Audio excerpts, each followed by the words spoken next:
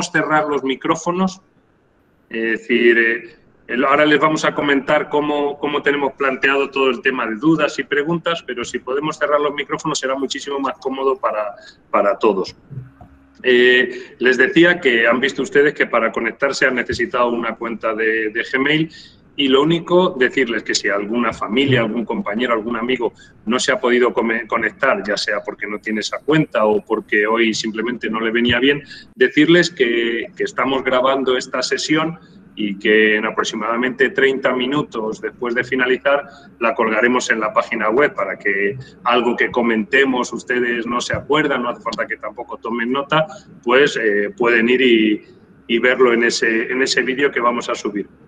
El tema de las preguntas o las dudas, lo que les vamos a pedir es que Javier, el jefe de estudios adjunto, está eh, con el chat de manera que ustedes pueden, mientras eh, nosotros vamos hablando y contándoles un poquillo eh, nuestro centro y nuestra manera de trabajar, ustedes pueden plantear las preguntas, Javier va a ir tomando nota y al finalizar las exposiciones, pues las vamos contestando todas. Y si después de, lo que se ha planteado hay alguna más, pues en ese momento también las podremos plantear.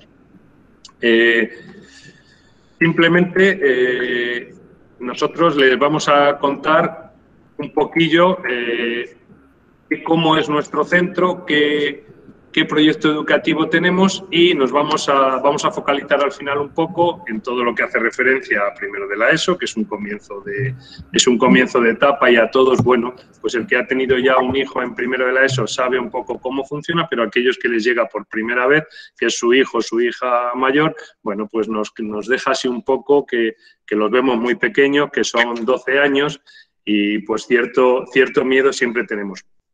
Para conocer nuestro centro, nosotros le vamos a, vamos a comenzar poniéndoles un pequeño vídeo que hemos realizado con, con los alumnos del centro. Paso a ponerlo.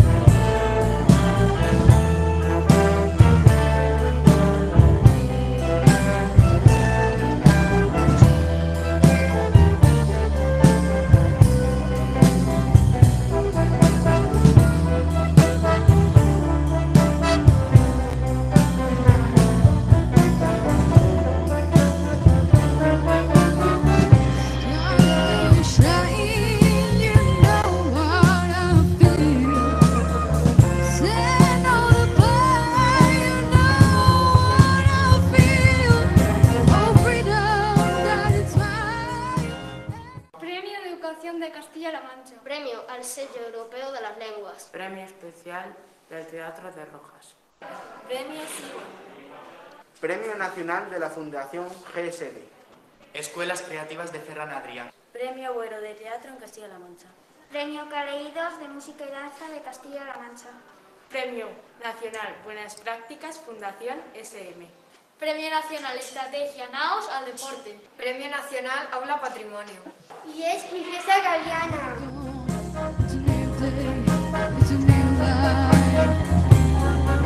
Turn.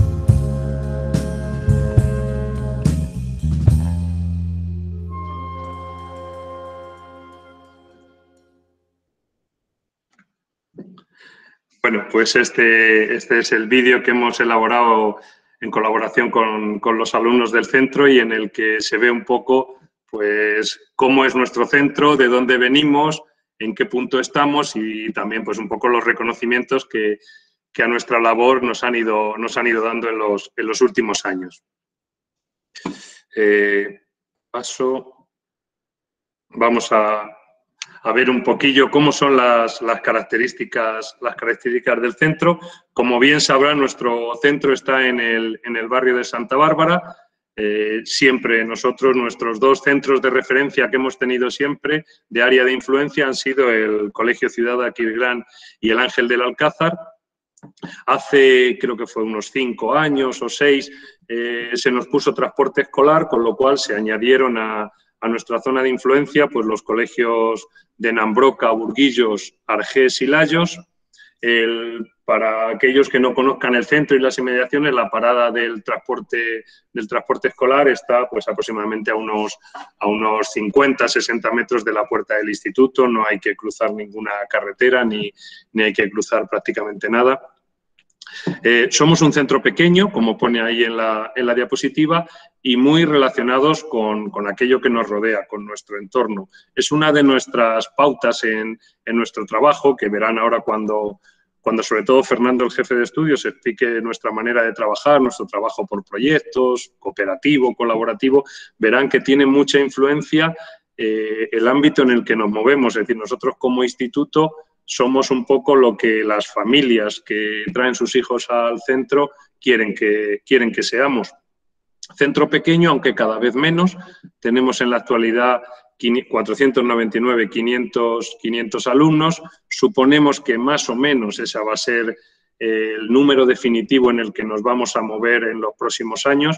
Venimos de hace a lo mejor 8 o 10 años donde éramos unos, unos 200, porque el instituto eh, tiene bachillerato desde hace cinco años, es decir, hasta ese momento solamente tenía enseñanza secundaria obligatoria.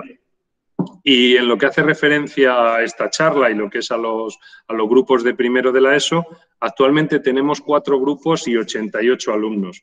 Aquí hay que decir que la ratio oficial de, de la ESO es de 30 alumnos por aula.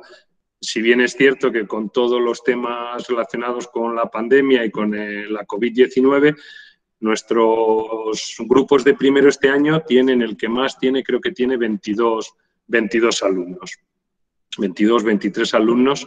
Y también les digo en este momento, aunque luego lo, diremos por, por, la presentación, que en nuestro centro la presencialidad este curso es total. Es decir, aunque es obligatorio en primero y segundo de la ESO y otros centros tienen semipresencialidad, nosotros de manera acertada o equivocada, yo creo que acertada, desde el primer momento creímos que la escuela tenía que estar abierta y que, y que bueno, que, la escuela no es un foco de, de, contagio. Si quieren les cuento así brevemente.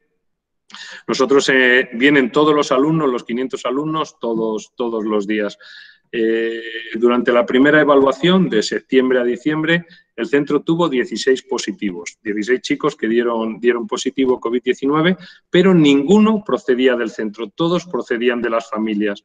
De esos 16 positivos, nadie contagió a un compañero de su clase. Es decir, que, nosotros, bueno, pues es verdad que esos niños han tenido que estar 10 días, 15 días en casa, pero la escuela se ha mantenido abierta y, creemos que eso es fundamental, que es dar oportunidades a, los alumnos y el profesorado del centro además está convencido.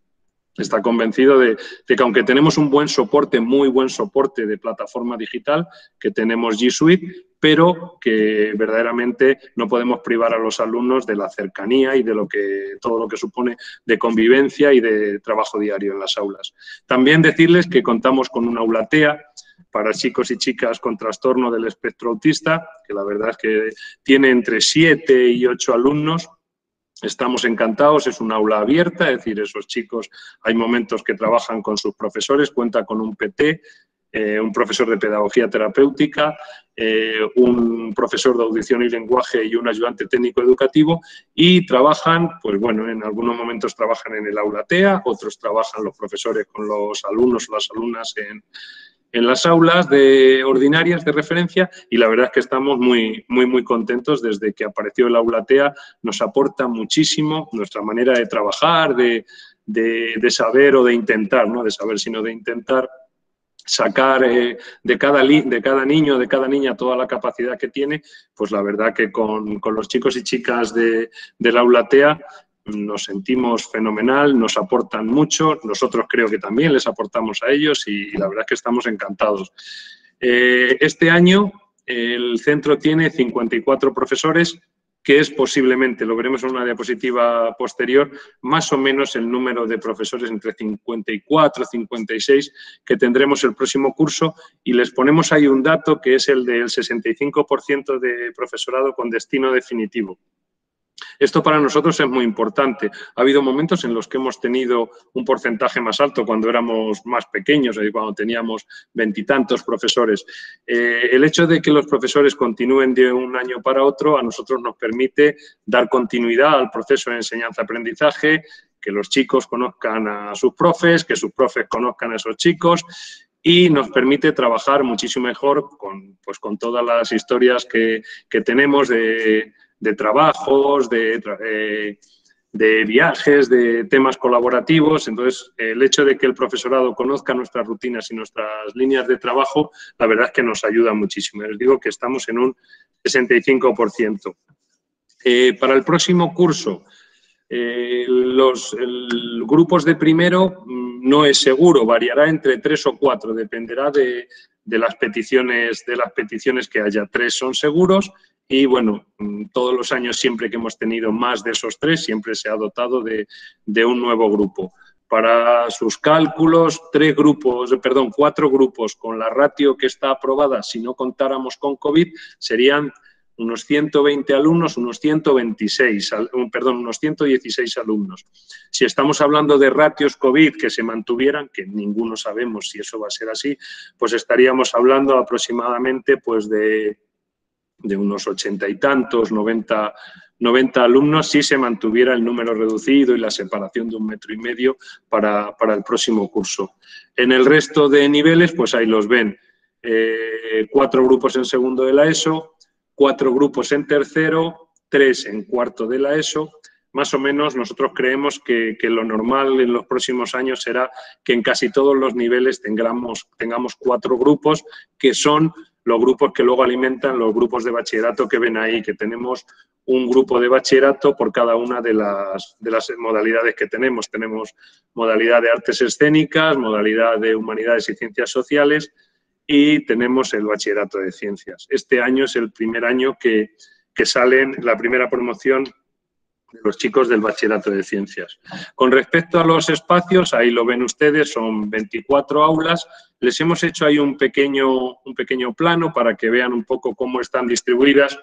Verdaderamente, si no conocen el centro, pues les va a resultar un poco, un poco complicado. Y lo que se puede ver ahí en ese, en ese plano que tenemos es que tenemos este curso con todo el tema COVID, tenemos el centro dividido como en tres espacios estancos, todo con la intención ya que habíamos optado por la presencialidad total, pues de mantener eh, como, como distintas zonas y que los chicos se nos mezclaran lo menos posible. Tenemos entradas escalonadas, un elemento que quizá mantengamos para los próximos cursos porque nos hemos dado cuenta que aunque es una medida COVID, es algo que nos puede venir muy bien para evitar esas aglomeraciones que a las 8 y 20, que es la hora de entrada al centro, tenemos en la puerta, en la puerta del instituto. Entonces, este año tenemos entradas cada cinco minutos. Eh, primero y tercero entra y 20, segundo y cuarto entra y 25 y bachillerato entra y media. Y están como muy compartimentados. Si ven ustedes aquí, hay una zona que es el edificio antiguo, por donde estoy pasando ahora mismo el ratón, donde se encuentran en el primer y segundo piso tanto los grupos de primero como, como de segundo. Luego hay una zona de un edificio nuevo que se terminó, se nos entregó el pasado curso, donde hay seis aulas y una zona de laboratorios y biblioteca, donde están los chicos y las chicas de tercero y cuarto. Y aquí, en esto que ven aquí en el lateral que pone edificio 2, ahí es donde se encuentran actualmente los, grupos de bachillerato. Eh, está en proyecto y está entregado ya el proyecto en la delegación provincial, un nuevo edificio con seis aulas en la zona limítrofe entre la Academia de Infantería y, nuestro instituto, que es una especie de terraplén.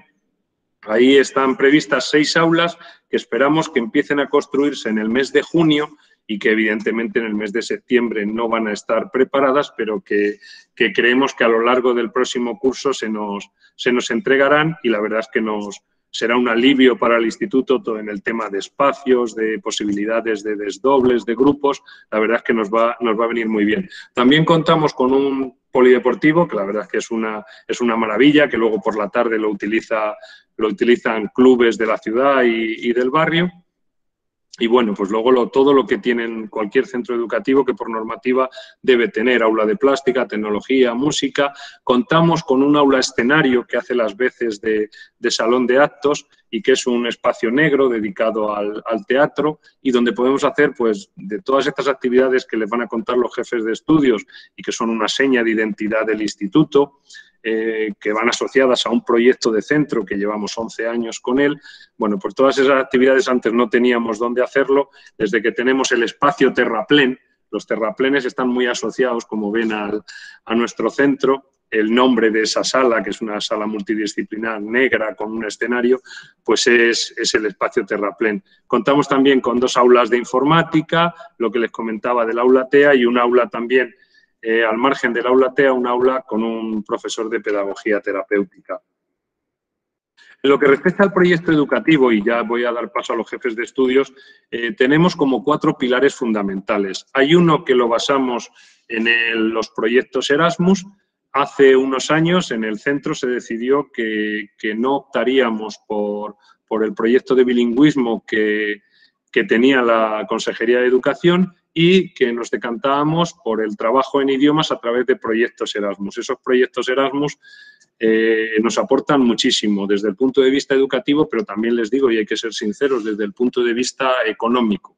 Es decir, el plus que nos añade eh, en la actualidad los proyectos Erasmus que tenemos, pues, pues les puedo estar hablando aproximadamente de unos 120.000 euros dedicados íntegramente a los chicos en un periodo de unos 3-4 años. Eso, eh, con los presupuestos que se mueven en, en educación, no lo conseguiríamos de ninguna manera. Entonces, del aspecto económico es muy importante, pero también aportan muchísimo al centro desde el punto de vista de conocer otras culturas, otras realidades, otros sistemas educativos por supuesto, el trabajo en idiomas y la verdad es que es uno de los elementos de los que más contentos estamos de las decisiones que hemos tomado en los últimos años. Como les decía, también los bachilleratos, en la actualidad contamos con tres, empezamos con el bachillerato de, Artes Escénicas, Música y Danza y lo, hemos, lo estamos completando este curso con el con el bachillerato, con el segundo curso del bachillerato de ciencias, con lo cual tenemos los tres bachilleratos, de manera que damos continuidad y los chicos que entran en primero con nosotros,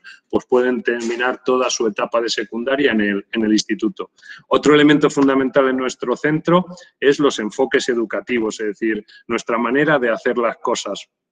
Tenemos un proyecto de centro que les contaba desde hace 11 años, al que vamos añadiendo pues, pues distintas distintas situaciones que se van presentando en el centro. En el caso de este año, pues verán que estamos trabajando sobre un proyecto STEAM con la Consejería de Educación y también con los compañeros de Educación Física en un proyecto escolar saludable que, que les contará un poco ahora el jefe de estudios. Y luego un elemento muy importante que les comentaba yo antes. Nosotros somos un centro pequeño. Eh, no tan pequeño como cuando empezamos con el proyecto, que éramos esos 200 alumnos y 20 profesores, pero seguimos manteniendo muchas cosas de colegio que creemos que son muy beneficiosas, sobre todo en el tema de conocer al alumnado, de, nuestra manera de trabajar, de, de, que no sean burbujas estancas las distintas clases, sino que los profesores trabajen en común. Para eso eh, creemos que el hecho de ser un centro pequeño y nuestra manera de trabajar nos beneficia muchísimo. Ahí tienen los proyectos, los proyectos Erasmus que tenemos. Tenemos dos proyectos relacionados con el teatro. El proyecto Erasmus, el primero que tuvimos era un proyecto eh, con una ciudad italiana que se llama Viterbo, y de ese proyecto que termina este curso ha nacido un nuevo proyecto. De todos los proyectos somos el, Instituto Princesa Galeana es el centro coordinador de ese proyecto inicial con Viterbo, que ha sido un éxito, rotundo y en el que nuestros chicos fueron el pasado curso a representar a, la ciudad italiana pues una obra de teatro, Despertar en Primavera, movimos a treinta y tantos chicos. Les digo que también es, no sé si lo saben, si no se lo digo yo, en los proyectos Erasmus las movilidades eh, que son los viajes, los niños que participan, es absolutamente gratis todo el viaje. Son viajes aproximadamente de cinco días. El niño lo cogemos en la puerta del instituto y se lo dejamos a sus padres a los cinco días y todo lo asume el, centro a través de la financiación europea. Les decía que tenemos el de, el de teatro que se ha ampliado, ya no solo es eh, Viterbo, sino que también tenemos eh, unos, unos, socios en Hungría y en, y en Turquía. Tenemos un proyecto de ciencias, que este es su segundo año, pero que se va a ampliar al próximo, porque este año al final no hemos podido hacer ninguna movilidad y nos quedan tres viajes a, Italia, Bulgaria y Letonia, y nos queda recibir a todos juntos y también nos queda de manera individual recibir a los chicos de Bulgaria y a los chicos de, y a los chicos de Italia. Y luego tenemos un, un nuevo proyecto Erasmus que también empieza este año, como el, como el segundo de teatro, que es eh, relacionado con el mundo de la música y la orquesta y que es con, una, ciudad, con una ciudad de Rumanía, que ahora mismo, perdónenme, pero no recuerdo, no recuerdo el nombre de, de la ciudad. Botosan, Ángel. Botosan, eso es. Y eh, simplemente para que se hagan una idea, con cuatro proyectos eh, Erasmus, pues más o menos al cabo de, del año, eso supone pues unos seis, ocho viajes, aproximadamente con siete u ocho alumnos en cada, en cada uno de los viajes. Eh, aquí tenemos un pequeño vídeo que les vamos a poner para, para que vean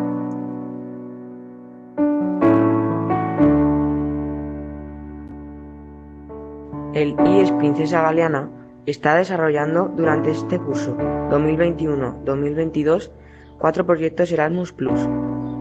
Los proyectos están dirigidos al teatro, a la música y a las ciencias. Para todos los estudiantes y profesores participantes suponen un reto y también una oportunidad para desarrollar la comunicación en una lengua extranjera, el conocimiento de culturas o el trabajo en equipo. En total tenemos contacto con siete centros educativos de seis países europeos. En todos los proyectos nuestro centro actúa como coordinador. Los proyectos Erasmus benefician a todos los estudiantes del centro. Se realizan muchas actividades en las que participa alumnado de todos los cursos. Suponen una dotación de recursos económicos para el centro y finalmente se convierten en un estímulo para fomentar el esfuerzo individual. La primera experiencia de Erasmus Plus de la Princesa Galeana fue el proyecto teatral compartido con el Liceo Orioli de Viterbo, Italia, que está actualmente en su último año. Se trata de un intercambio de experiencias entre ambos centros que tienen en el teatro una herramienta de aprendizaje técnico y artístico, pero sobre todo es una herramienta para fomentar valores y capacidades como el compañerismo, el compromiso o la iniciativa personal. Hasta ahora se han llevado a cabo seis viajes de intercambio entre Viterbo y Toledo, en el que han participado más de 50 personas entre estudiantes y profesores. Por el Princesa Galeana tomaron parte estudiantes de los bachilleratos de artes y de humanidades y también de cuarto de ESO. El momento culminante se produjo en diciembre de 2019, cuando el grupo de segundo bachillerato de artes escénicas, música y danza representó en Italia la obra Despertar de Primavera. Desde este año se desarrolla un nuevo proyecto teatral extendido a cuatro socios, institutos de Antalya, Turquía, Mezzokovest, Hungría, además del Liceo Orioli de Viterbo y el IES Princesa Galiana. El trabajo de coordinación ya ha empezado de forma online y esperamos que durante el curso 2021-2022 se puedan llevar a cabo viajes hacia las tres ciudades socias. Desde el curso 2019-2020 el Instituto también cuenta con un proyecto Erasmus sobre ciencias titulado Uso adecuado e inadecuado de las nuevas tecnologías. Creado un canal de ciencias en YouTube, coordinado desde las áreas de tecnología física, química, biología, geología y matemáticas. En este caso, los centros socios son de las ciudades de Recegne, Letonia, Sofía, Bulgaria y Cremona, Italia. Están previstos desplazamientos de estudiantes y profesores a los tres destinos. Por último, desde el curso 2020-2021 ha comenzado un nuevo proyecto Erasmus sobre música, en el cual nuestro instituto está asociado con el Liceo Stefan Luchán de Botosan, Rumanía, que es un centro integrado de enseñanzas musicales y artísticas. El objetivo es que alumnado de todos los niveles puedan participar en las distintas actividades que se generarán en este proyecto utilizando la música como referente. El proyecto servirá como impulso para la orquesta del instituto, en la que participarán estudiantes del Bachillerato de Artes Escénicas, Música y Danza, pero también alumnado de todos los niveles, desde primero de la ESO. También este proyecto quiere integrar a la importante comunidad de origen rumano de nuestro centro. Los viajes de intercambio previstos culminarán en actuaciones conjuntas de estudiantes de ambos institutos.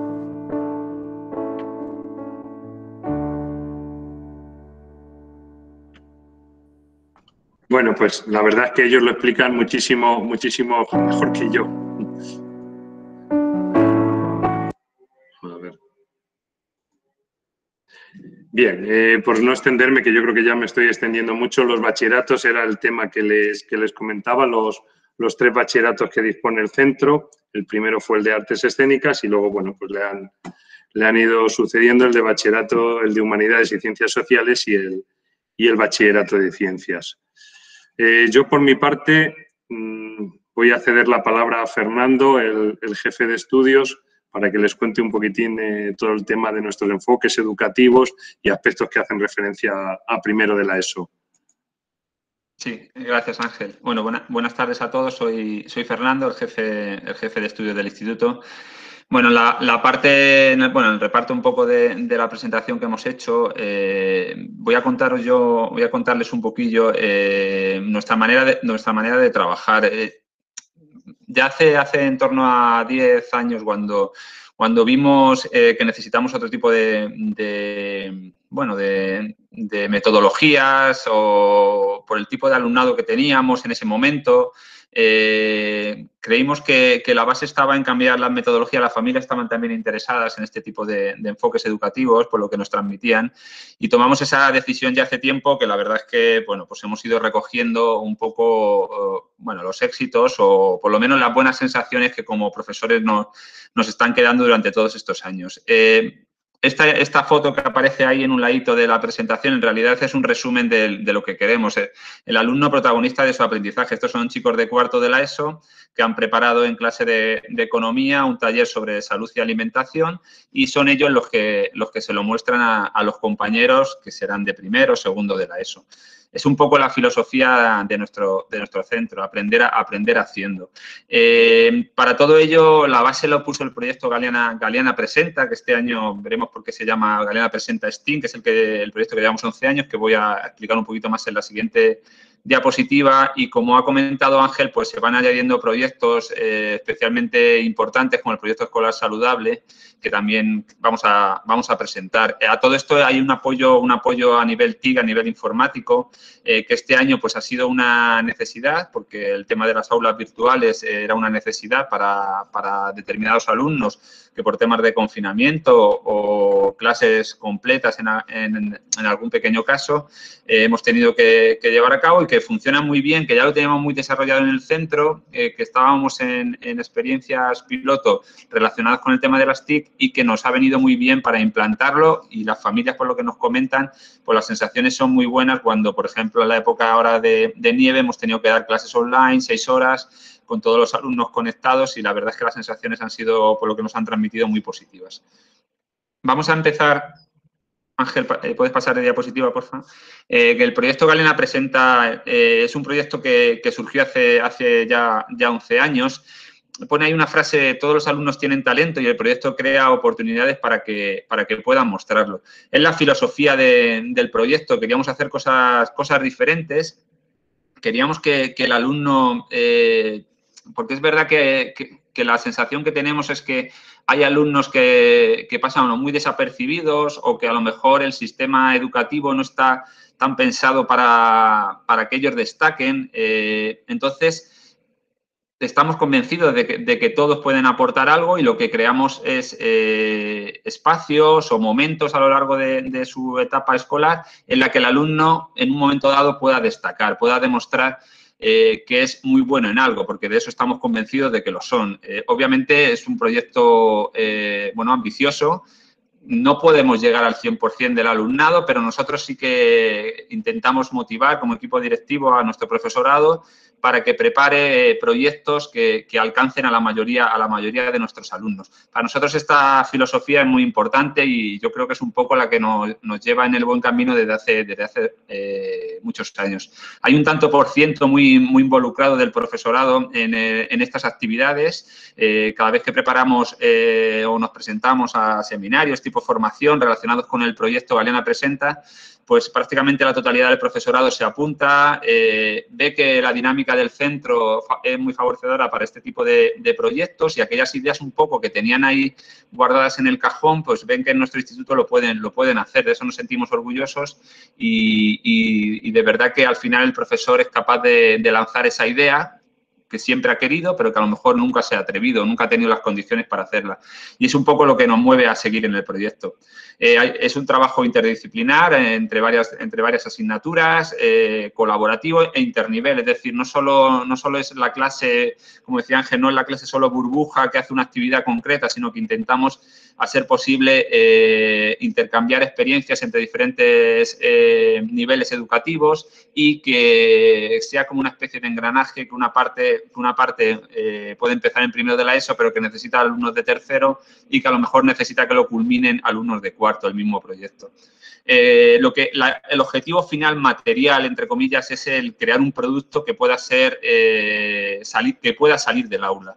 Pues ya sea hemos creado obras de teatro, películas, exposiciones, como pone ahí, ferias, charlas, camisetas, un ejemplo que viene de trabajo, de trabajo STEAM, por ejemplo, de este año, es el calendario que acabamos de sacar en, en diciembre, que es el calendario de 2021, en la que es una especie de orla de, de todos los alumnos del centro, pero un poco porque entendáis que es el trabajo este Galeana Presenta que hacemos, y en este año el trabajo STEAM, pues, por ejemplo, alumnos de tercero de tecnología han hecho toda, todo a nivel fotográfico, han hecho todas las fotografías. Alumnos de cuarto de plástica han, hecho una, eh, han presentado eh, a, un concurso para el diseño de la portada.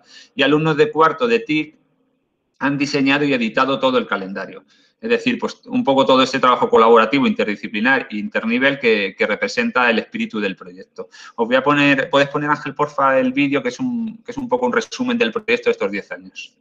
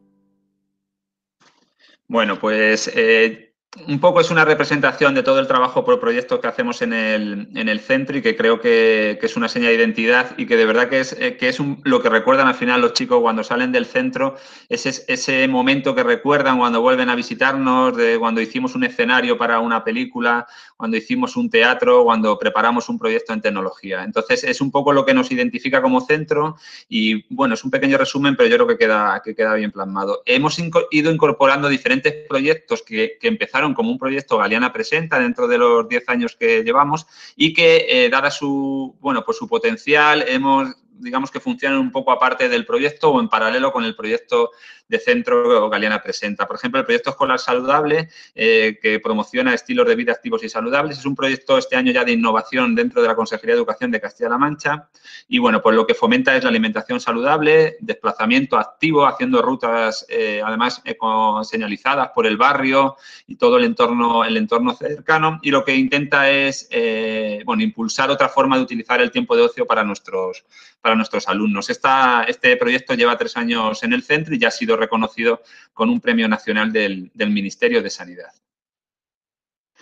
Eh, había otra parte importante que, sin ella ahora mismo, bueno, sería obviamente inviable, dadas las circunstancias en las que estamos, pero que, pero que ya llevaba sentado varios años, que es el trabajo con las TIC y que, y que bueno, pues eh, creemos que es una representación más de, de las dinámicas o cómo los alumnos eh, ante circunstancias, ¿verdad? Que son los primeros que mejor se han adaptado ante las circunstancias actuales, pero que también tenemos la suerte de, tener un profesorado muy involucrado en, estas temáticas eh, de las nuevas tecnologías, digamos, y que, y que funcionan muy bien en el mundo online, este en el que, por desgracia, alguna vez tenemos que funcionar.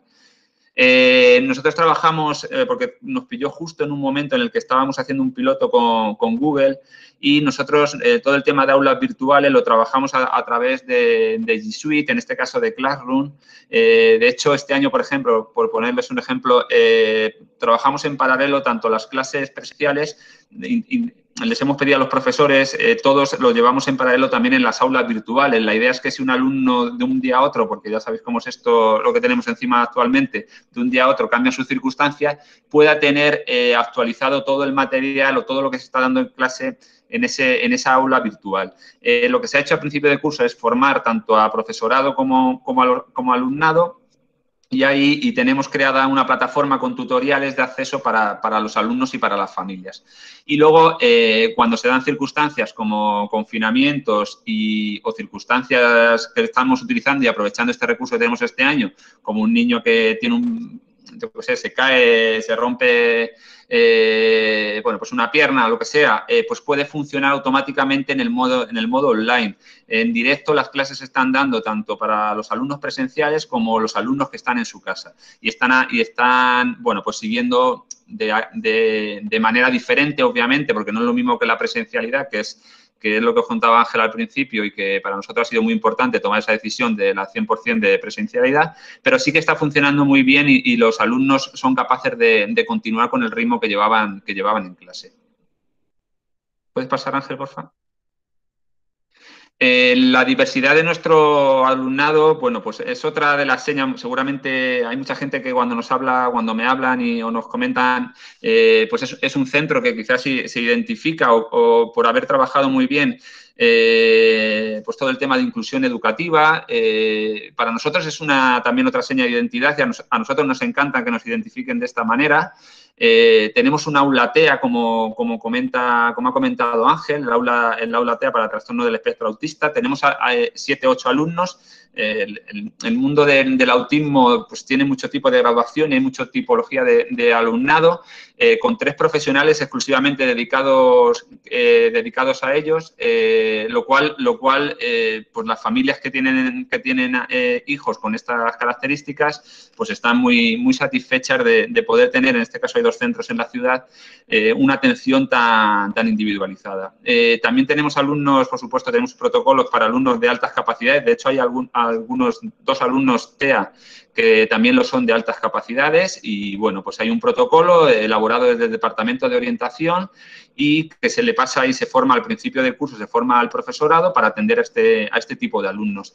Eh, bueno, TDA y TDAH, y TDAH bueno, pues hay muchísimos alumnos hoy, hoy en día, hay otro protocolo oficial de la Consejería de Educación que, por supuesto, nosotros aplicamos y, son, y son atendidos eh, adecuadamente, eh, pues flexibilizando pues, tiempos de exámenes, sobre todo relacionado con evaluación. Tiempo de exámenes, reducción de cantidad de preguntas, más espacio para, para, redacción. Hay una serie de mecanismos que estos alumnos y sus familias agradecen para, sobre todo en el momento del examen, que quizás es un poco la parte más delicada para, para ellos. Y también tenemos protocolos relacionados con, con trastornos específicos del lenguaje, eh, como de dislexia, incluso otros protocolos para alumnado diabético. Eh, todo lo que, lo que he contado, un poco la filosofía de trabajo por proyectos que tenemos en el centro, obviamente la parte en la que a lo mejor se puede luego plasmar, yo creo que la más importante sin duda es la emocional, la el trabajo en valores que se hacen en el, instituto, pero, pero, también tiene una repercusión muy positiva en el tema de resultados académicos y de, y de convivencia. Eh, por ejemplo, estas gráficas, por haceros un, del año pasado, en Castilla-La Mancha, estadísticas oficiales, dice que el 85%, 85,03, que es la barra tiene la gráfica de la izquierda, eh, la barra azul, eh, son alumnos que promocionaron o titularon en la ESO. En nuestro centro ese número es del 89,97% y eh, alumnos de primero de la ESO llegaron a ser hasta el 95,58 los alumnos que promocionaron a, segundo de la ESO. Eh, no, sabemos en realidad percibir al 100% si se debe a la cantidad de, proyectos en los que estamos involucrados y cómo afectan en este sentido pero, pero desde luego afecta positivamente porque los resultados solo han, hecho mejorar desde, desde, que implantamos este tipo de metodologías. Eh, la gráfica de la derecha muestra un poco la ratio partes alumnos de los tres últimos eh, cursos en la primera evaluación. Ponemos partes porque es un poco la medida que podemos utilizar para, para a nivel de convivencia. Eh, hace, hace dos años, por ejemplo, un 6% de los alumnos de, la ESO, de primero de la ESO, tuvieron alguna, algún incidente en el centro, eh, se le puso un parte, lo que se llama un parte de disciplina. En, el año pasado ya fue un 4% y este año no ha habido ningún parte de disciplina en, en la primera evaluación. Bueno, pues creemos que el, ambiente en el centro es, una, es un comentario generalizado entre alumnos y, profesores y familias y, bueno, pues nos sentimos orgullosos de, de, esa tranquilidad con la que se puede trabajar en nuestro, en nuestro instituto. Y, bueno, yo voy a dar paso a, a David, el jefe de estudios adjunto. David, cuando quieras.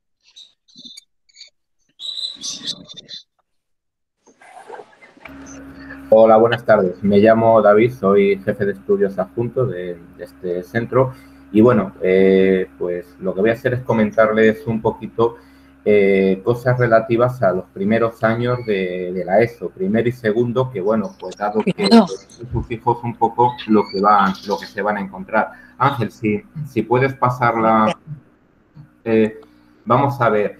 Eh, vamos a insistir, hemos ya hemos dicho, pero vamos a insistir mucho en lo que es un centro pequeño y dirán ustedes por qué. Bueno, vamos a ver. El paso del colegio al instituto es algo que yo sé eh, que les preocupa mucho a los padres. ¿Por qué? Porque los niños están un poco entre algodones, muy controlados, y ahora se abren a un ambiente donde tienen que estar continuamente tomando decisiones. Es un centro más grande, tienen libertad, pero a los padres les preocupa la libertad, con qué harán, con quién andará, el grupo de iguales se va, por, se va uniendo, se va polarizando un poco más, son más, son más independientes. Bueno, mm, un psicólogo lo explicaría mejor que yo. Es necesario que los chavales tengan autonomía y es necesario ese paso para que los chavales empiecen a elegir y a tomar decisiones.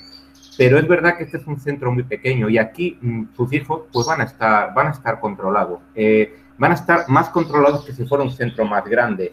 Eh, como ha dicho mi compañero, el profesorado es muy implicado, tenemos un conocimiento de todos los alumnos y siempre va a haber una comunicación más fluida eh, porque la dinámica del centro eh, no, lo va, lo va a permitir. Yo he estado en muchos centros, en muchos centros muy grandes, y cuando pues tenemos que llamar la atención a un chaval o no, o decirle algo bueno, lo primero que le preguntábamos es, eh, ¿cómo, te, ¿cómo te llamas? Y lo segundo, ¿a qué curso perteneces? Eso aquí no ocurre, es decir, aquí conocemos a todos nuestros alumnos, conocemos a sus padres eh, de tal manera que ese conocimiento redunda positivamente. Es decir, nosotros eh, eh, vamos a permitir que la autonomía, la, identidad del alumno se vaya fraguando, porque al final va a tener que tomar decisiones en su vida. Pero sin intervenir, vamos a estar ahí, vamos a estar un poquito, no quiero decir encima, pero vamos a tener un conocimiento mucho mejor que en otros mm, centros, macrocentros, ¿no? Lo tenemos como algo, estamos orgullosos de decir que somos un centro pequeño, que somos un centro de barrio cada vez menos, cada vez menos, pero aún nos va, aún nos va quedando, nos va quedando eso. Y como resultado de lo que he dicho, es un centro que ha podido tener la presencialidad, somos el único centro que ha podido tener las clases, lo cual ha facilitado a los padres mucho el trabajo, en la mayoría de los, en todos los demás centros de Toledo, los chavales han alternado clases presenciales y clases online. Esto ha obligado a los padres, ¿qué le voy a decir a ustedes? A hacer quiniel, a hacer con quién, con una organización eh, más complicado, sin obviar que aquí los chavales han recibido la clase presencial. Cuando hemos tenido confinados menos que otros centros, este centro preparado ha dado las clases online, ha podido dar las clases online y la verdad es que eh, ha sido muy receptivo. Eh, ha sido muy receptivo y muy bien valorado por alumnos, por padres y por profesores. Eh, bueno, si puedes pasar, Ángel, esto es un eslogan, una frase que ha hecho Fernando. bueno, cuidar lo pequeño crea oportunidades a lo grande. Seguimos con la idea de lo pequeño porque estamos muy, muy, muy orgullosos. A mí fue una de las cosas que más me sorprendió cuando llegué aquí. Yo venía de un centro muy grande y es una anécdota que siempre cuento. Dije, pero madre mía, si esto, esto es una... Pues bueno, eh, solo he encontrado cosas positivas de lo cercano que es este centro. Y, y ahora en la, siguiente, en la siguiente diapositiva vamos a ver un pequeño itinerario, aunque muchas de las cosas ya las han dicho mis compañeros. Vamos a tener tres o cuatro grupos de primero, depende de la demanda que, se haga. La tendencia es que este centro mm, cada vez sea menos, menos pequeño. Eh, y eso se debe pues un poco a ustedes, que van solicitando cada vez más pues una plaza aquí para, para sus hijos. Una, una cuestión eh, que seguramente se lo van a escuchar si son del barrio y no, igual no saben exactamente lo que es, más allá de una frase que queda bien, pero es mucho más que una frase. Recreos activos. Aquí tenemos, ¿qué significa recreos activos? Tenemos los espacios abiertos, todos los espacios del centro están abiertos y funcionando, es decir, tenemos durante los recreos el gimnasio funcionando, la biblioteca funcionando, el espacio terraplén funcionando, algunas clases eh, funcionando, haciendo actividades. Eh, ¿Por qué? Porque no todos los alumnos, los alumnos tienen inquietudes y algunos, pues, este, es un, este centro tiene una identidad muy marcada por las artes escénicas, por lo, por lo que es eh, todo lo que es la música, la literatura, eh, y a lo mejor pues tenemos que en el espacio Terraprem se están haciendo obras de teatro y los alumnos pueden no verlas, pueden participar, puede haber campeonatos de ajedrez, pueden hacer actividades de educación física, es decir, tenemos todos los espacios durante el recreo abierto y funcionando con profesores. Entonces, es algo, bueno, pues que no solo es el recreo para comerse el bocadillo, es decir, que pueden participar de una serie de espacios eh, donde se da Lo importante es tener opciones donde los alumnos pues, van a tener un, número importante de, opciones. Eh, lo que ha dicho ya Fernando, aquí tenemos, este es un centro, a mí me sorprendió, me costó, porque yo eh, soy, me dan ustedes a perdonar, soy analógico, yo ya tengo años y a mí me ha costado cada vez más ponerme, ponerme un poquito, perdóname la expresión, las pilas, pero aquí mis compañeros están muy preparados. Eh, y esto es un centro muy preparado. Entonces, antes de que ocurriera todo, toda esta pandemia, todas estas circunstancias, era un centro que lleva por delante en todo lo que era plataformas online, lo cual luego nos ha venido muy bien. ¿Volveremos a la normalidad? Por supuesto que sí, pero las plataformas online, las clases online, los apuntes, eh, van a seguir ahí colgados en la nube y se va a seguir y se va a seguir, eh, se va a seguir utilizando. la información la información general eh, tenemos la de todos los centros, eh, de alguna manera tenemos el papás, tenemos eh, la comunicación. Nos gusta también mucho llamar por teléfono, reunirnos con los padres, pero seguimos, mantenemos los medios que tienen, que tienen otros centros. este centro tiene desdobles en primero de la ESO. En estas circunstancias, no quiero usar mucho la palabra normalidad porque parece que fue un tiempo eh, pero en circunstancias normales. Ahora no. Que les explico un poquito el tema de los desdobles en primero de la ESO. En, ciertas asignaturas, y eso se debe a proyectos que nos aprueban, ahora mismo me viene a la mente el Ilusionate, pero hay más proyectos, nos permiten algunas asignaturas, matemáticas, física, mm, digo ahora mismo algunas de memoria, las permiten desdoblar. ¿Qué significa eso? Que se dobla el número de profesores y que de un grupo de 30 alumnos van a tener clases de matemáticas unos alumnos 15 y otros alumnos con otro profesor otros 15, con todos los beneficios que tiene eso eh, de una ratio reducida. Ahora no es necesario porque con el tema de la pandemia eh, las clases van a 20 alumnos, entonces ya son reducidas de por sí y ya se ha tenido que aumentar el número de profesorados, pero cuando volvamos otra vez a, los tiempos pretéritos, cuando pues... Eh, pues sí es muy, es, es, lo más seguro es que volvamos un poco a los, a los desdobles. Bueno, eh, tenemos una, tenemos una eh, reunión que todos los, todos los años los tutores tienen una reunión presencial, presencial, ahora se ha tenido que hacer online con los padres a, a principio de curso, eh, van a ver ustedes, es decir, mm, eh, la relación que hay cercana entre los profesores y las familias, es decir, cómo funciona la comunicación por todos los medios, pero siempre va a empezar con esa reunión inicial. Hay las típicas tres evaluaciones, hay recuperaciones y hay, y hay, una, y hay una recuperación, y hay una recuperación en junio. Eh, ya hemos hablado un poquito de los, de los proyectos, ya este centro tiene uno de sus rasgos identitarios, son los proyectos que realiza donde participan activamente eh, todos los alumnos. Un tema muy importante que también, pues bueno, eh, les puede preocupar es los agrupamientos. ¿Con quién va a ir mi hijo? ¿A qué clase va a ir mi hijo? Aquí la convivencia es muy buena siempre consideramos que la heterogeneidad es enriquecedora y de verdad, los, yo soy jefe de estudios eh, junto con Fernando, no me encargo de la convivencia, de la disciplina y les puedo asegurar, les puedo asegurar eh, que mi trabajo es muy fácil, es decir, que no hay esa, que la convivencia es muy buena. Gran mérito de eso lo tienen los agrupamientos que realizamos. Para los agrupamientos nos basamos en una coordinación con el colegio o con los colegios, porque sus hijos van a venir de diversos colegios. Entonces, nosotros mantenemos varias reuniones a lo largo del año con los equipos directivos y con los profesores de los colegios de donde proceden sus hijos, pedimos los informes. Aquí un servicio de orientación bastante, bastante conocido, bastante bueno, eh, eh, que a partir de ahí pues elabora unos criterios de agrupamiento. Normalmente se suele respetar eh, las directrices generales que nos marcan los colegios, normal, ¿no? Eh, pues estos son hermanos, eh, estos son hermanos pero mejor que no están juntos, esas cosas, porque a lo largo de sus hijos vienen de un sistema educativo de un colegio donde han estado muchos años y donde los maestros tienen ese conocimiento. Es normal que nos trasladen ese conocimiento y que nosotros lo apliquemos. Entonces, aunque nosotros tomamos decisiones, los agrupamientos se basan en una coordinación con los colegios se basan en criterios muy estudiados, eh, también que van a pasar por el, por el servicio de orientación y son buenos agrupamientos, respetando normalmente las recomendaciones, las directrices de los colegios.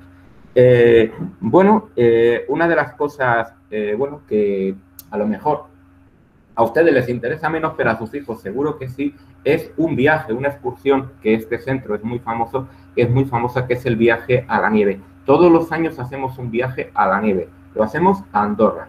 Eh, ese viaje eh, cuenta con profesores implicados y con nuestro director, Ángel Rodríguez, que es eh, uno de los promotores y es una persona que siempre, que siempre va. se pueden apuntar voluntariamente todos los alumnos, van a Andorra y es una actividad que gusta mucho, es una actividad que gusta mucho y que tiene cierto reconocimiento en este, en este centro.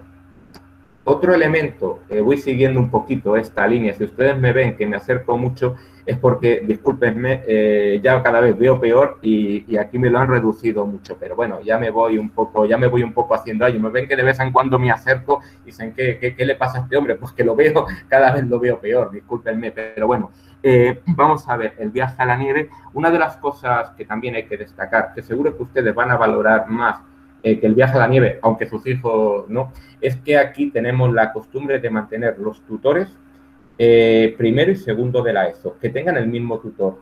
Eso es algo muy importante. Yo fui tutor el año pasado de un curso, este año mantengo, mantengo esta tutoría. No tiene nada que ver, yo se lo pongo como ejemplo porque hablo de tercero y cuarto de la ESO, eh, pero no saben ustedes los beneficios que aporta en cuanto a conocimiento que un tutor esté con sus hijos dos años. La implicación, el conocimiento de las familias, la tranquilidad que da. Aquí es el sistema, aquí es la norma, es decir, que un tutor esté dos años con sus hijos. Eso unido a un dato muy importante que ha comentado Ángel, el 65% de los profesores son fijos, tienen continuidad, los alumnos los conocen, los profesores conocen a los alumnos. Esa, esa confianza, ese conocimiento, ese conocimiento que tienen de sus familias es muy importante. Eh, y ese es el parámetro, el porcentaje más bajo. Eh, este centro, no deja de ser un centro de Toledo muy bien valorado, ha tenido porcentajes de profesorado definitivo mm, cercano al 75-76%. Es muy alto. ¿eh? Yo vengo de un centro, yo he estado 12 años mm, en un centro que era Fuensalida, donde los profesores fijos éramos un 12%, nada más, y éramos más de 100 profesores. eso es positivo que los profesores tengan continuidad que los alumnos vayan viendo cómo van pasando los años y van repitiendo, van conociéndonos a los profesores y los profesores les vamos, les vamos conociendo, les vamos conociendo a ellos. Y otra cosa también muy importante y destacable, que aquí funciona muy bien, es el equipo de mediadores. Les vuelvo a, les vuelvo a repetir, a una costa de ser pesado, discúlpenme, que aquí este centro la convivencia es muy buena y funciona muy bien eh, de verdad, yo como jefe de estudios y ahí colaboro con Fernando, nuestro trabajo es muy, es muy fácil, nada, es muy fácil y muy, muy llevadero por la buena convivencia, por, el buen, por la buena integración, por el buen entendimiento que hay entre los alumnos. El equipo de mediador no es otra cosa que alumnos preparados, alumnos un poquito elegidos, que se formen, hagan como, abro comillas, como de hermano mayor y ante una situación conflictiva, donde muchas veces los tutores, los profesores, por, por la cosa de ser mayor, por ser un ente un poco extraño, valoramos el grupo de iguales, valoramos que sean ellos, y muchas veces nos sorprenden, ¿eh? muchas veces son incluso más represivos que nosotros, es decir, muchas veces ellos, pero sobre todo es que ellos asumen eh, lo que han hecho con el grupo de iguales. El grupo de mediador no es otra cosa que alumnos que, como su nombre indica, intentan mediar en los problemas. Suelen ser alumnos escogidos por motivos generalmente positivos. Eh, suelen ser alumnos de cuarto de la ESO, pero siempre tenemos gente eh, que según se van, van llegando a bachillerato, van, vamos formando, vamos un poco liando a otros alumnos para que cojan este testigo. Eh, suelen ser buenos alumnos, ya lo entenderán ustedes, o alumnos que sean un poquito, que sean conocidos, que sean un poquito un modelo, y la verdad es que es un elemento que nos ayuda mucho. Y ya si quieres pasar, Ángel, eh, la siguiente son las asignaturas de primero de la ESO. Eh, básicamente, tampoco pretendo abrumarles con esto, quiero ir un poquito rápido. Estas son las asignaturas que sus hijos van a cursar en primero de la ESO seguro que esto ya lo tienen, ya, ya tienen conocimiento de ellas, simplemente hacerles notar que tienen que elegir entre religión o valores éticos y luego a la derecha, a mi derecha, tienen una serie de, eh, de asignaturas optativas que son francés, tecnología y emprendedores, que tienen que elegir una de ellas. Francés es el segundo idioma. ¿Qué le voy a decir estas asignaturas? Las tres, pues son muy buenas, muy buenas opciones. Francés es el segundo idioma. Tecnología creativa tiene luego múltiples opciones, múltiples aplicaciones. Y emprendedores, eh, por si alguno de ustedes tienen duda que es esa asignatura, es una asignatura relacionada con la economía, es decir, mm, relacionada con lo que es la economía en un principio básica, pero se van poniendo las bases de luego toda una cultura económica e inversora eh, que, tanto, que tanta falta nos hace, es decir, conocer un poquito el tema de los bancos, cómo funciona, de la economía básica y de las cuentas. Y yo creo que por mi parte, eh, yo poco más, despedirme, decirles que si aquí al final sus hijos pues llegan al instituto, pues ya saben dónde estoy y a su, y a su disposición. Pues, pues muchas gracias, David. Eh, yo voy a intentar no ser muy pesado en esta última parte porque además entiendo que quizás eh, lo que les voy a contar ahora, que va a ser muy rápido y muy resumido, eh, posiblemente se lo hayan contado en los, en los colegios. les voy a poner unas fechas que hacen referencia al proceso de admisión. ya digo que estoy casi seguro que ustedes las conocen. El proceso de admisión hay que hacerlo a través de, la plataforma Educamos Castilla-La Mancha, que es el antiguo PAPAS, y tenemos desde el 1 al 26 de febrero. Eh, si alguno de ustedes tienen problemas, tienen dudas de si lo he presentado bien o no sé si lo tengo en borrador, no tengan problema en llamarnos por teléfono o mandarnos un correo. Es decir, eh, nos llaman, eh, que les pasen con administración y nosotros directamente podemos ver si su, solicitud está bien hecha, si está correcto, si le falta algo, es decir, que no tengan problema en eso. El 26 de abril es la fecha en la que se publica el baremo provisional, es decir, los puntos que tiene nuestro hijo o nuestra hija, y ustedes podrán reclamar entre el 27 de abril y el 3 de mayo. Entre el 12 y el 21 de mayo eh, se, hará la información sobre la escolarización provisional del alumnado de inclusión educativa, es decir, si, si mi hijo no va por la vía ordinaria, sino que eh, tiene algún tipo de necesidad educativa, pues el Departamento de Inclusión Educativa de la Delegación Provincial se pondrá en contacto con esas familias, aunque esas familias ya lo saben y ya están al tanto de este tema porque se lo han comentado los servicios de orientación de cada, de cada centro. El baremo definitivo sale el 28 de mayo. Eh, eso significa que los puntos que yo tenga el 28 de mayo van a ser mis puntos definitivos con los que voy a, a concursar y ese mismo día sale la resolución provisional. Esa resolución provisional se hace definitiva el 28 de junio y lo único que no es de aplicable en este caso cuando hablamos de primero de la ESO, pero sí cuando alguien se quiere cambiar de centro, lo que sí que puede hacer es renunciar a este proceso y tendría de plazo desde que sale la publicación del, eh, del, baremo, del baremo definitivo hasta el 18 de junio. Pero ya digo que en su caso no es, no es de aplicación. Ustedes tienen que pedir a para, que les asignen un, instituto y ya les digo que el 28 de junio es la publicación definitiva. Un dato que no está ahí. En secundaria todos los años se hace matrícula. La matrícula de sus hijos, si lo hacen en este centro como si lo hacen en otro, será a partir del 29 de junio y hasta el 9 de julio.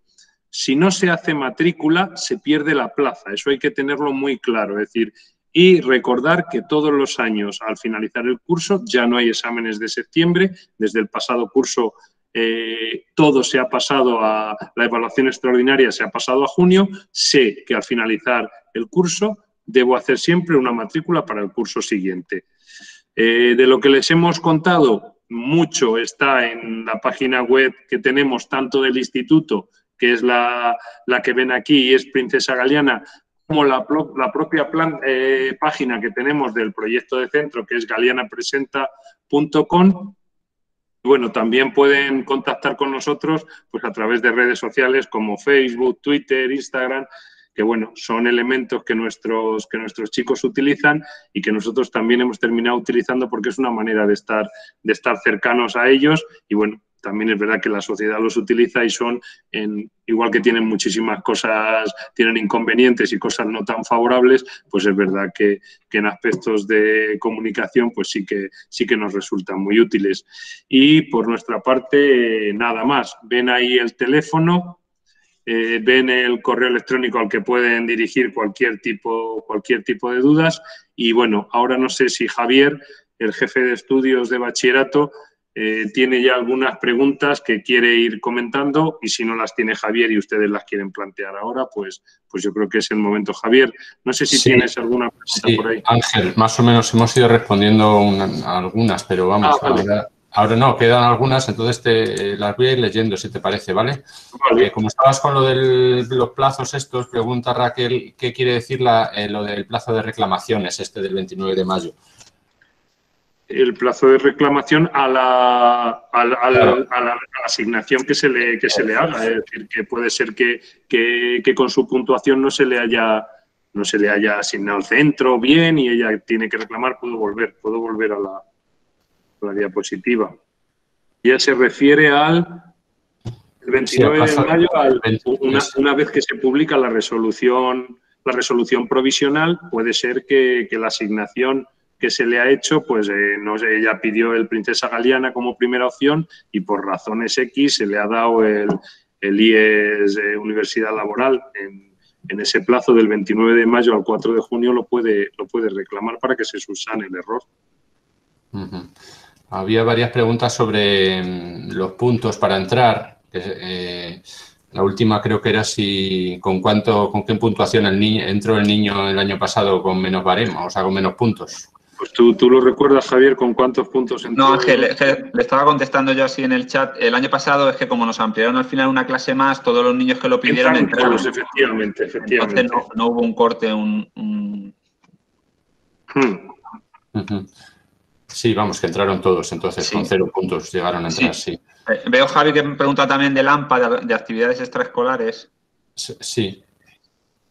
Vale, yo quería comentar también que este año no ha sido posible por el tema de COVID, pero que normalmente eh, todos los años hay actividades extraescolares y además somos profesores del centro los que, los que lo hacemos, relacionadas con, la robótica, las nuevas tecnologías, con el teatro y también se dan, incluso con profesorado también del instituto, eh, clases de inglés de refuerzo para, alumnos del instituto. A ver, este año lo único, eh, se decidió en, la Comisión de Coordinación Pedagógica, se decidió, en el centro se hacen muchísimas, muchísimas actividades. Todas las que han contado los jefes de estudios son pocas para lo que es un día a día en el centro en un año normal. Este año no se hace todo lo que se hace eh, se tiene que hacer sin personal externo, es decir, no pueden venir asociaciones, no pueden venir grupos, no pueden venir otros centros, nosotros no podemos ir. Entonces, este año todo, todo está muy parado, pero es verdad que por las tardes tenemos pues, temas de lo que comentaba Fernando, robótica, teatro, pero es verdad que este año nadie viene al centro y lo poco que hacemos lo, se tiene que hacer online. Es un año muy, muy raro y muy especial.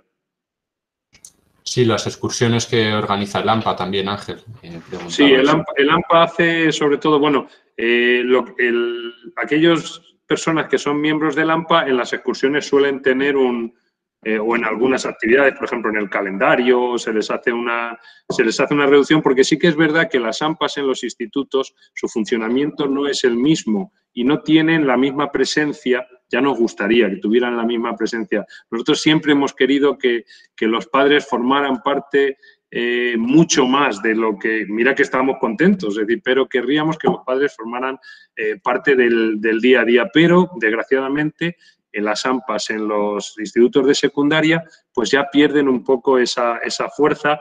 La nuestra todavía sigue haciendo una excursión a fin de curso de que van al parque de atracciones, eh, qué más actividades hace Lampa. Siempre que hacemos alguna actividad, eh, reduce a sus miembros, le reduce la cuantía, pues en el viaje a la nieve, en, distintas actividades, el AMPA siempre colaboramos, nos ayuda a hacer en la semana de teatro, en la muestra de teatro, la paella la hace el AMPA, es decir, que tenemos mucha, mucha colaboración con ellos y siempre que nosotros hacemos alguna actividad, aunque no la hagan ellos, siempre, siempre participan y ayudan.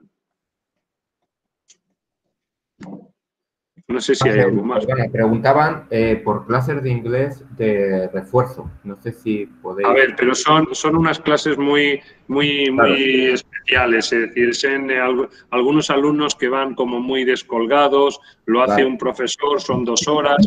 Eh, tampoco es decir, eh, el año que viene es muy probable que la sigamos teniendo, pero que no pensemos que es algo muy generalizado con grupos, con grupos muy amplios. Eh, son alumnos muy, muy seleccionados y tienen que coincidir con el profesorado, los tiene que recomendar los profesores una vez los conocen. Es decir, que, no es algo así como muy generalizado.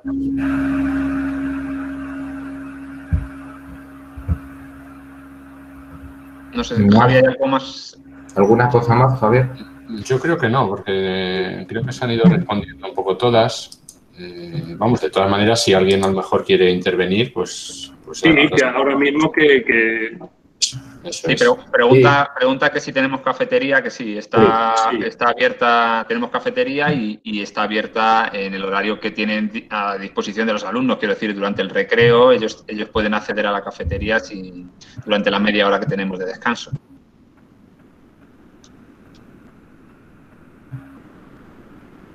No sé. Si alguien quiere intervenir en este momento. Con productos sin, sin gluten. No, preguntan si Puri tiene productos sin gluten.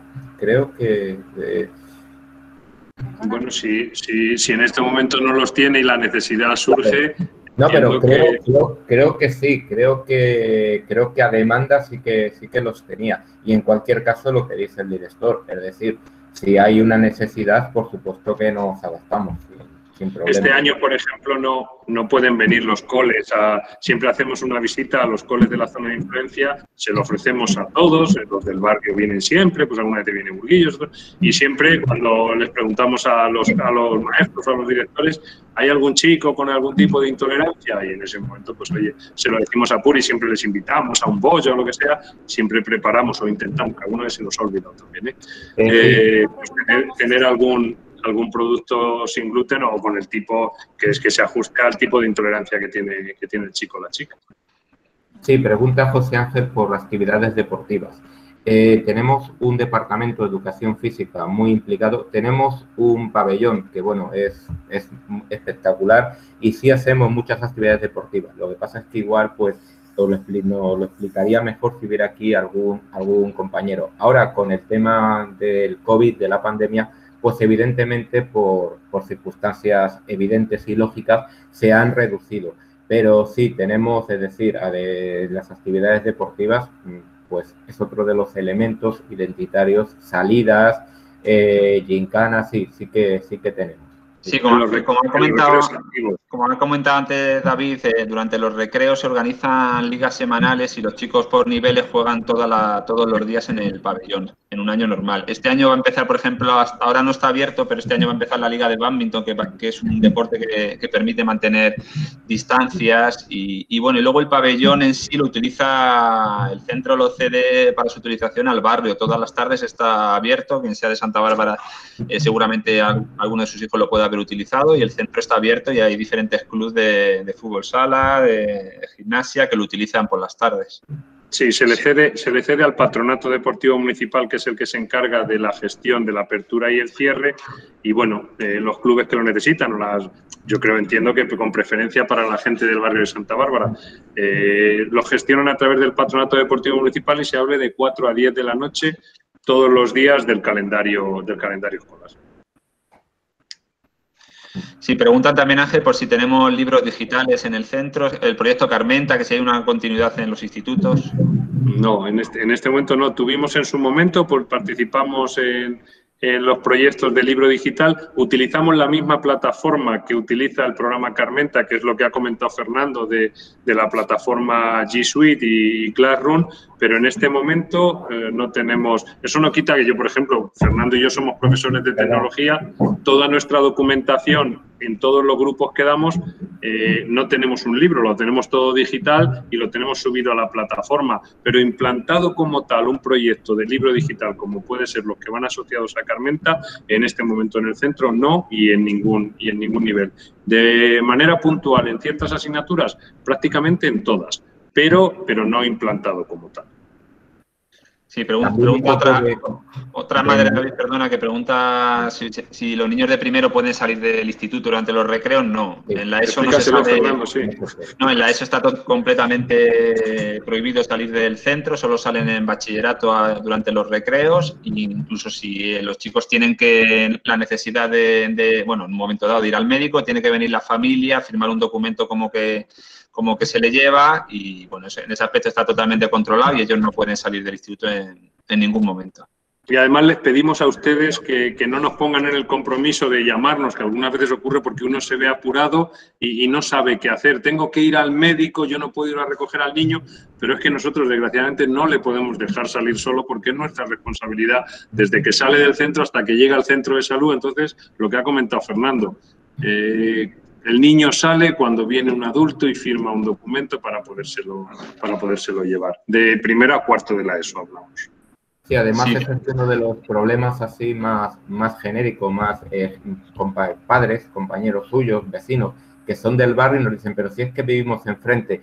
No, nunca pasa nada hasta que pasa, ahí lo llevamos a rajatabla un alumno solo sale del centro con un tutor responsable o con los padres si vienen a por él por causa justificada. Eso hay que dejarlo claro, aunque vivan enfrente. Lo digo porque sí que es verdad que eso es una, de, las causas genéricas que como jefatura pues nos crea, algún problema. Sí, también, comentar que están preguntando que hay una reunión justo antes del inicio de, curso para las familias de primero de la ESO, que siempre ha sido presencial, excepto este, Excepto este año, por las circunstancias en las que estamos, ojalá que el año que viene sí que podamos hacerla y pueden venir los alumnos, es para familias, pero si viene algún alumno para conocer por dónde tiene que entrar y las clases no habría, no habría ningún problema. También pregunta cómo nos comunicamos con las familias, pues el canal oficial sigue siendo papás como, como en los colegios, eh, normalmente para comunicarnos con las familias a través de papás, donde se pone puntos de asistencia, les llegan mensajes, igual que, igual que en el colegio el mecanismo es el, bueno, papás, Educamos Castilla-La Mancha, que es la plataforma que hay ahora mismo, y funciona igual que, funciona en los colegios. Con los alumnos normalmente nos comunicamos a través de la plataforma G Suite, que es un correo de Gmail en realidad, con el dominio del instituto, y bueno, es la manera en la que trabajamos con ellos. sí. No, que no, no preguntan que si, que si ponen dos centros eh, en la solicitud y le dan el segundo y luego se amplía la cuarta clase, imaginemos en primero, entiendo que por ahí va la pregunta, que si le van a llamar para coger esta plaza. ¿Sí me entiendes? Eh, sí, sí, sí, te entiendo, te entiendo perfectamente. Eh, Javier, ¿hay, ¿hay un plazo de mejora en el mes de junio? Pero yo creo que si te dan la definitiva, o sea, si te dan de segunda opción, la, segunda opción a la provisional, y te dan la definitiva a la primera, pues ya está, ya no hay más, yo creo que no hay... Eh, es que si nos dan los cuatro grupos, nos los dan antes de que salga la definitiva, efectivamente. Es decir, si nosotros tenemos los cuatro grupos, eh, lo tendremos antes, de que, antes del 28 de junio, que es cuando se publica la, resolución. Con lo cual, a nadie le podrá, no nos van a dar un grupo posteriormente. O sería muy extraño que nos dieran un grupo posteriormente. Y quería comentar una cosa con, respecto al tema de, las limitaciones de la COVID. Y es cierto que se hace una reunión con las familias, con las de primero de la ESO, se hace una reunión presencial uno o dos días antes de comenzar en septiembre. Al igual que con el AMPA hacemos en colaboración con ellos un mercadillo de libros que evidentemente ni el curso pasado ni este hemos podido hacer, que se hace dentro del centro, pero mientras tengamos las limitaciones de, de número de personas en reuniones que tenemos, pues todo eso es imposible. ¿Que nos gustaría retomarlo y que si lo retomáramos en septiembre sería fantástico? Pues claro que sí, pero tampoco les podemos asegurar. Es decir, esta reunión normalmente es aquí en el centro y les enseñamos el centro, les damos una vuelta, pero este año es imposible. Sí, preguntan también por las becas de libros. Sí, las becas de libros se gestionan igual que en los coles, es decir, hay dos tramos de beca de libros, una que coge, creo que son tres libros, y la otra que, y la otra que coge, yo creo que son seis, eh, eh, ciento y pico euros y doscientos y pico euros. Eh, lo lleva Pilar, la secretaria, pero el funcionamiento es idéntico al funcionamiento que tiene la beca de libros en los coles. Y el procedimiento de solicitud y todo idéntico, eso no cambia nada. Sí, también nos preguntan que si, que si los chicos salen solo del instituto y van hacia la parada. Sí, ellos salen solos, van a, van a la parada y normalmente siempre hay alguien del equipo directivo eh, en el centro eh, por si ocurriera algo con algún problema con los autobuses, para que los chicos puedan volver y nosotros llamar a las familias o lo que ocurriera. O sea, siempre esperamos a que los autobuses se hayan, se hayan marchado. También preguntan que si es como en los coles, que hay diferente horario en junio y septiembre.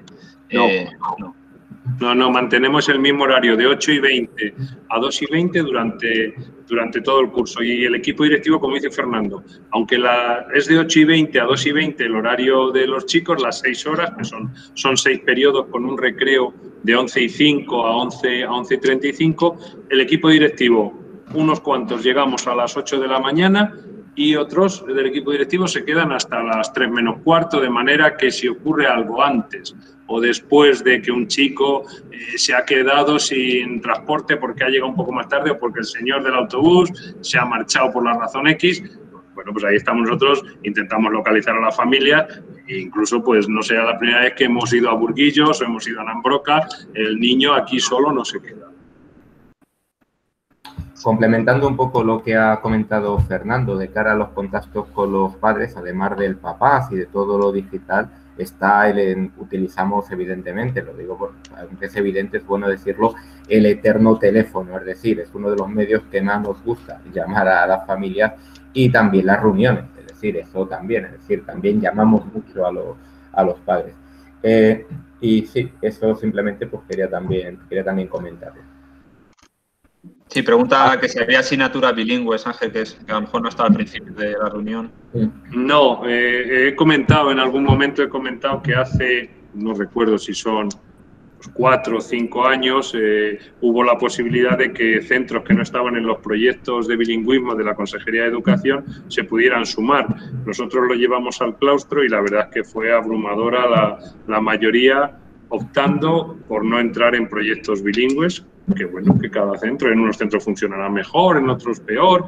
Eh, nosotros no, pues no vimos conveniente entrar en los proyectos bilingües y sí creímos que debíamos fijar todos nuestros esfuerzos y nuestros empeños en eh, ofrecer a los chicos lo que hemos comentado de proyectos Erasmus a través de movilidades, conocer otras culturas, otros idiomas, pero a través de este tipo de proyectos y no en el día a día sustituyendo dos asignaturas eh, de un curso, pasarlas a bilingüe. Pues eh, el claustro no quiso y en ese camino seguimos. Sí, luego, hay otro tema muy bonito que es el de los móviles, que siempre es la pregunta de, Fernando, te dejo que... No, no, simplemente que están, están prohibidos su uso en, el centro. Eh, no, siempre recomendamos que no los traigan. Si los traen tienen que estar guardados. Eh, si sonara o, lo consultaran o lo que sea, se les retira y llamamos a las familias. Eh, están prohibidos, básicamente están prohibidos y no se pueden sacar en ningún momento durante las seis horas en el, en el instituto. Entonces siempre recomendamos que no los traigan directamente, porque si hay cualquier percance, cualquier cosa, tienen necesidad de llamar, de verdad que somos muy flexibles en eso y llamamos a la familia rápidamente, como ha dicho David, con el problema que pueda tener su hijo en un momento dado. Sí, ahí pedimos en el tema de los móviles su colaboración porque puede ser el motivo, mm, fíjese, el problema, así el problema más general, más genérico, el problema disciplinario un poco más numeroso que tenemos en el centro es cuando a algún alumno le suena el teléfono y muchas veces son ustedes los que le ha llamado, hijo, hija, ¿estás bien?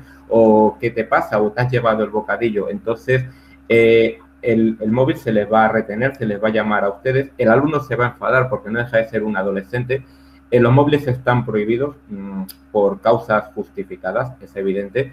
Mm, no deben traerlos. Si los traen, en silencio. Y si por H o por B el móvil suena, pues bueno, que sepan ustedes que lo vamos a recoger y les vamos a llamar. Pero también solicitamos o pedimos su colaboración porque es un poco en lo que más nos movemos de cara a la disciplina, es decir, los problemas que suelen darse con más asiduidad. Es raro el día que no cogemos algún móvil o que no vemos algún móvil eh, es ese. Entonces, bueno, pues que también ustedes lo sepan y que vayamos todos en la misma dirección. No se puede entrar móviles, están prohibidos, es una ley genérica, orgánica, perdón, y, eso, y, bueno, y está más que justificado.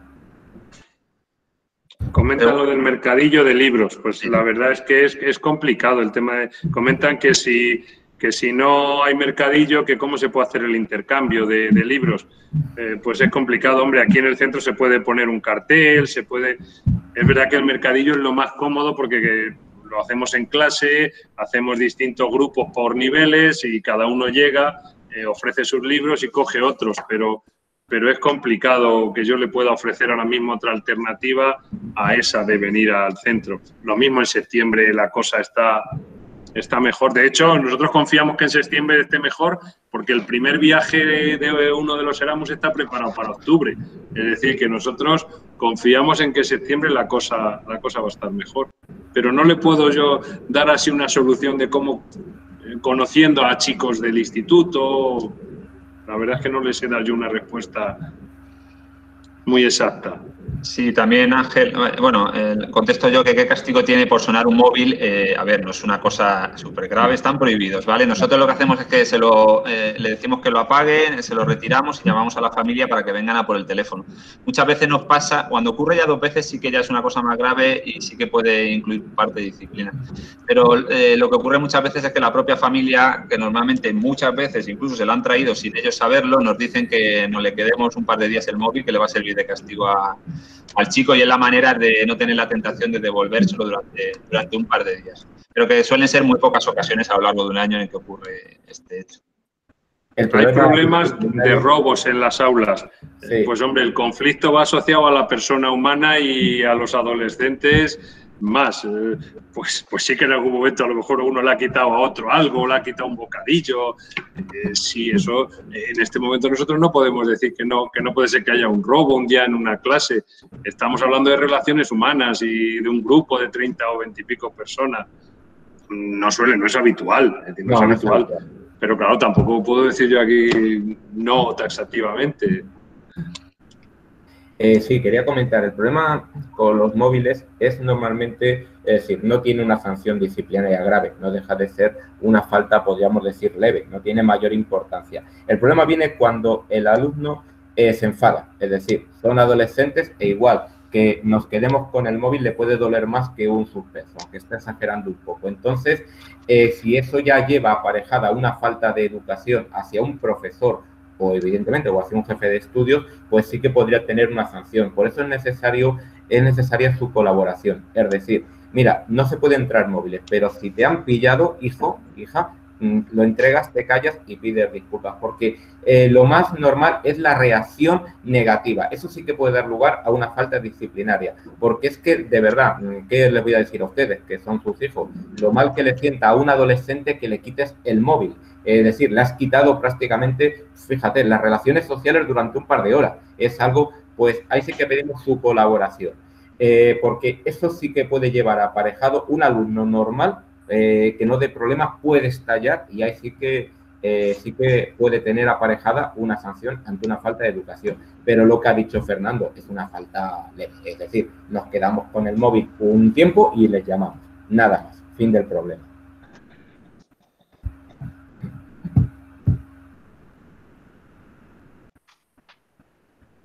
Eh, hablan también de la justificación de las faltas. Nosotros con la justificación por parte del padre es suficiente. Otra cosa es que estuviéramos hablando de un alumno de bachillerato, eh, una falta y un día de un examen, pero bueno, normalmente eh, nosotros con la justificación, aparte de que los pediatras, los médicos, cada vez ponen más problemas para justificar ese tipo de, consultas o ese tipo de faltas, nosotros con la justificación de los padres es suficiente. Sí, pregunta que la beca de libros que cuando se solicita, eh, este año se ha renovado automáticamente a los que ya tenían beca del año anterior. Si la, no, sé cómo, no, sé cómo, va a ser para el año que viene.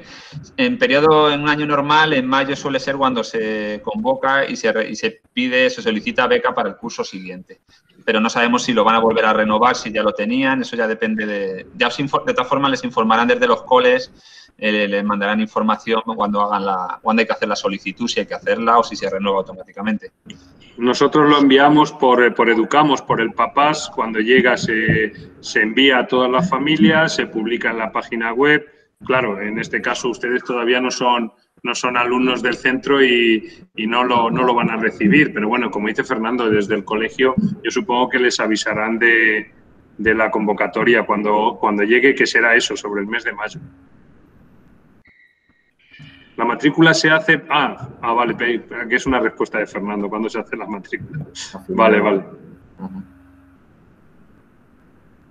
No sé si habéis respondido, Ángel, a algo de las altas capacidades que ha... es verdad, he visto la pregunta. Sí, yo, yo lo he escrito, simplemente lo he comentado en la presentación, que tenemos un protocolo elaborado del Departamento de Orientación y que al principio de curso eh, el orientador justo eh, forma en las primeras reuniones iniciales da unas charlas eh, pues un poco explicando estos protocolos tanto de altas capacidades como alumnados TDA, TDAH, etcétera, que tenemos en el centro. Entonces realizamos una formación para todo, para todo nuestro profesorado.